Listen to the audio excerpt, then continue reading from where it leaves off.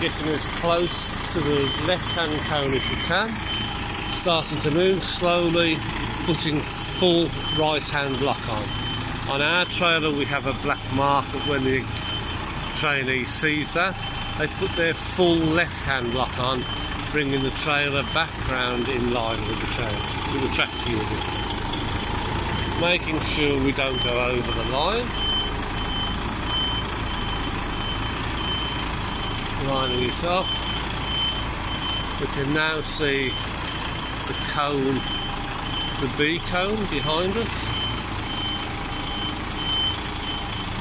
Moving slow, using both of the mirrors, making sure we know where the trail is going,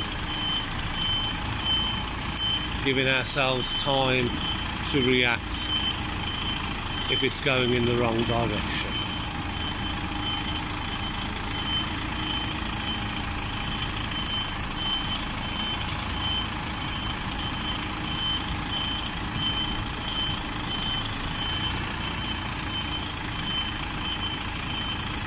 We're now putting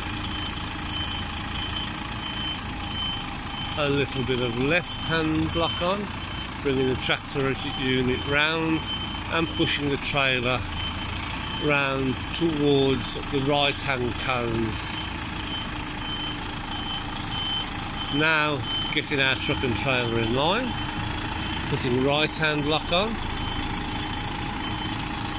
a good tip here is if you want to get your tractor unit in line with your trailer, if you see more of the right hand side of the trailer than you do the left, then put on right hand lock.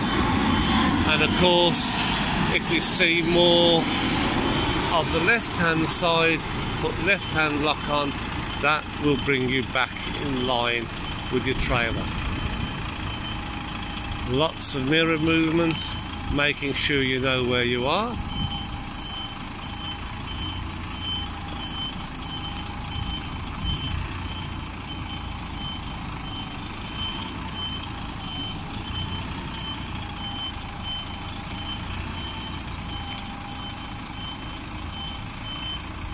Nice and steady, looking now, lining up the line that you're examiner has shown you, the marker that your examiner has shown you with the beginning of the yellow box. When that's in line, stop in, handbrake on and into neutral.